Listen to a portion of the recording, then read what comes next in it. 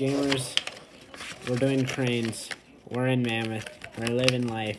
We're being the best possible version of a craner that we can. Yeah. Uh, the mountain got closed because there was a blizzard, so that was kind of rough. So we kind of got we we got we took an L. We took a quick little quick little L, and that was rough. And that that was rough, but you know you win some, you lose some, and this was definitely a you lose some type of game. So yeah.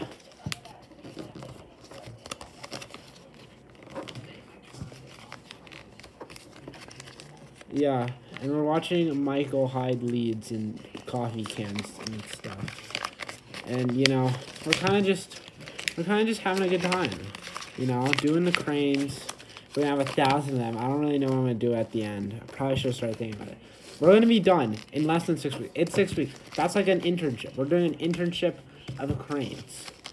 Like, there's one more track meet. And then, and that's it. There's one more track meet. Like, oh my god, that's actually so crazy. Alright, see you guys tomorrow.